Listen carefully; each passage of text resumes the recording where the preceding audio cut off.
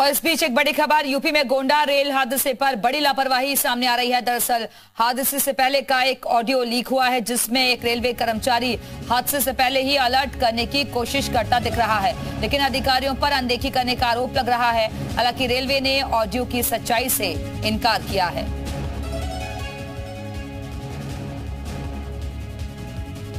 तो हादसे से पहले का एक ऑडियो लीक हुआ है।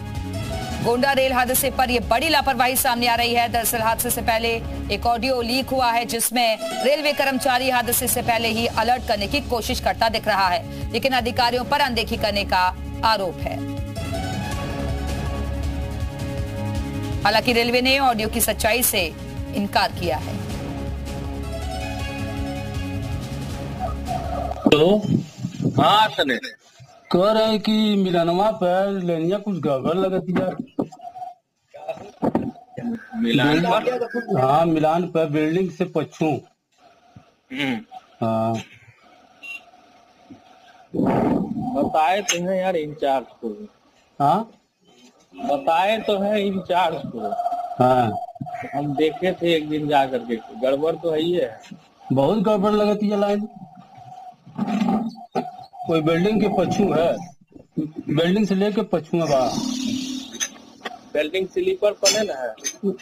नहीं बिल्डिंग से लेके पछू तरफ़ है बहुत टेढ़ी मेढ़ी हो गई लिया अच्छा आगे का फिटिंग वुटिंग देख लो सब सही है ना? हाँ सब ठोक के आए हैं। बढ़िया से उसको जो है ना तार उड़ लगा करके उधर फिटिंग बाहर घर का पूरा एकदम चकाचक कर। हाँ सब सब टाइट करके आए हैं। भले इधर मेहनत का इधर ना करो लेकिन उस एरिया में जहाँ पे लग रहा है हाँ। उस एरिया में थोड़ा सा जा करके ना बढ़िया से एकदम पंडाल उंडाल बढ़िया से ठोक ठाक दे हाँ तो गिरा ना रहे। हम्म, हम्म। लाइनर उनर के साथ लाइनर भी ना मतलब लाइनर भी लगा रहे। अरे वो प्रकाशन लगल बा आई अड़तीस पाँच में। कासन नहीं लगा है? पूछा था आपसे कासन लगल बा कि नहीं? कासन लगने वाला है। कि बहुत डेंजर इसमें हो गई बा कासन लगने वाला है? हाँ। आई एम आर हाँ तो हमार है बहुत डेंजर तो बगलिंग भइले संभावना बा। बहुत डेंजर भइले के को दिनों सुबह देखल इति से बहुत डेंजर भइली है। हाँ। कहीं पहिया उतरने की संभावना न हो जाए कोई ठिकाना नहीं बा। अभी इंचार्ज फुट प्लेट करके आए हैं उसी से। हाँ तो लग रहा है। हाँ कासन लगवा दिया जाए कोई बात हो जाए तो दिक्कत। कासन लग रहा है बोर्ड वोर्ड सब शिफ्ट होने वाला है वहीं पे थर्टी का लगने वाला। अच्छा अच्छा। हम्म तीस का लग रहा है। ठीक है। तो गोंडा ट्रेन हादसे से जुड़ी हुई एक और बड़ी खबर आपको दे दे। ड्राइवर कंट्रोल रूम की बातचीत का ऑडियो सामने आया है। ट्रेन का ड्राइवर बिलक बिलक कर रो रहा है। कंट्रोल का अटेंडेंट ड्राइवर को ढांढस बंधा रहा है।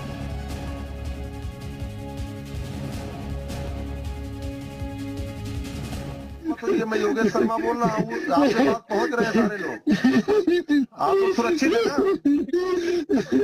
ड्राइवर साहब आपको सुरक्षित है? हम सुरक्षित हैं।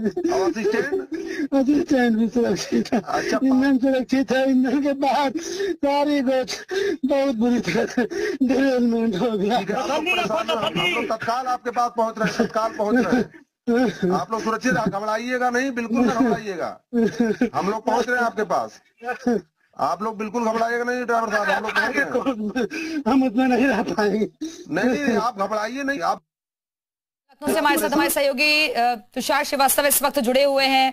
तुषार ये जो घटना से ठीक पहले का ऑडियो वायरल हो रहा है इसे किस तरीके से देखें? क्योंकि इसमें बड़ी लापरवाही उजागर होती है। पहले से ही अलर्ट था गड़बड़ी की बात कही गई लेकिन अधिकारियों ने अनदेखी की।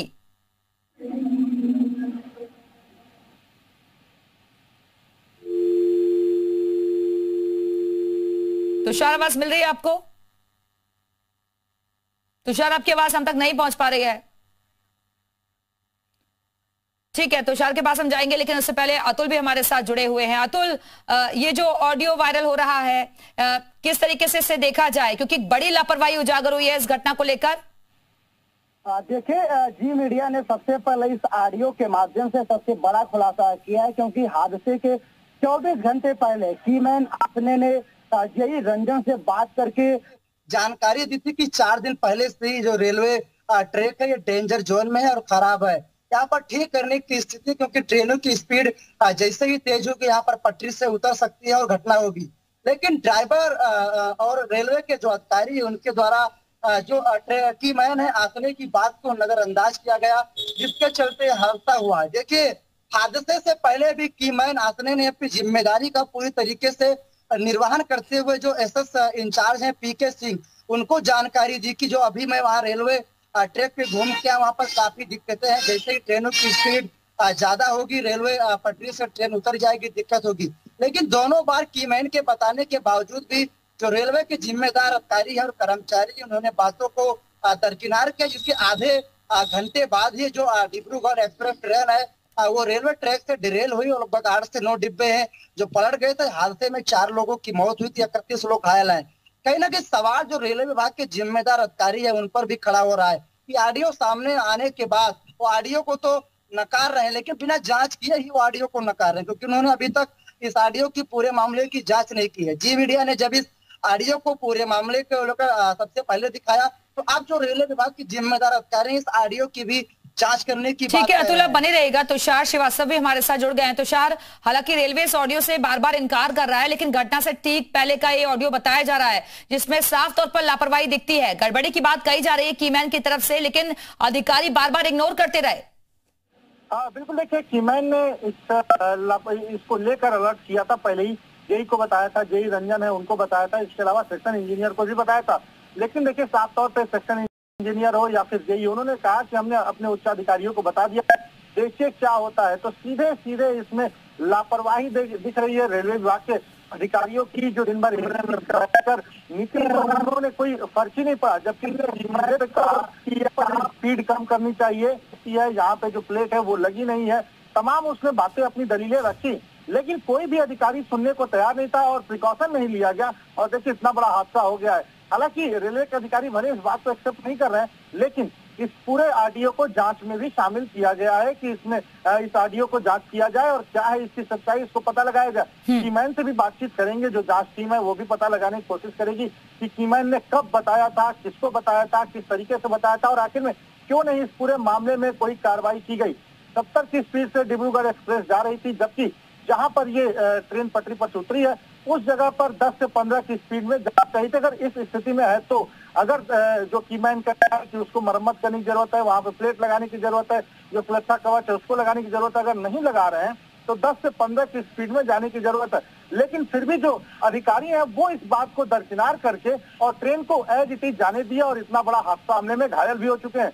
लेकिन बड़े अधिकारियों पर अभी तक कोई कार्रवाई नहीं की गई और देखिए ऑडियो सामने आ रहा है। ड्राइवर का भी ऑडियो सामने आ चुका है और सीमेंट का ठीक है तुषार बने रहेगा। अतुल के पास भी चलते हैं। अतुल भी हमारे साथ जुड़े हुए अतुल क्योंकि इसमें पहले से ही बताया गया था कि चार दिनों से ये रेलवे ट्रैक खराब है। अगर कोई भी ट्रेन ट्रैक से गुजरती है तो उससे पहले जांचा जाता है परखा जाता है कहीं कोई कमी होती है तो उसे दुरुस्त किया जाता है। लेकिन वार्निंग दी गई उसके बावजूद भी यहाँ देखी की गई। उस ट्रैक को जांचा ही नहीं गया। सवाल यह है कि इन चार मौतों का जिम्मेदार कौन? और जो जख्मी हुए हैं उनका क्या? देखिए साफ़ तौर से इन चार मौतों के जिम्मेदार जो रेलवे के जिम्मेदार अधिकारी हैं वो होंगे क्योंकि उन्होंने कीमैन की बात को पूरी तरीके से दरकिनार कर दिया। जब हाँ, कीमैन को लगा कि बड़ा हादसा हो सकता है तो उसने आनंद फानन में वो मौके पर पहुँचा। मौके पर जाँच करके उसने जो है सेक्शन इंजीनियर को जानकारी दी लेकिन जानकारी देने के बावजूद भी इस इतना बड़ा हादसा हुआ। देखिए क्योंकि जो डिब्रूगढ़ एक्सप्रेस ट्रेन है बिल्कुल तो हादसे से पहले अलर्ट की कोशिश की गई लेकिन अधिकारियों पर अनदेखी का आरोप लगाया। बहुत बहुत शुक्रिया आपका अतुल और तुषार हमारे जो शुक्रिया आपका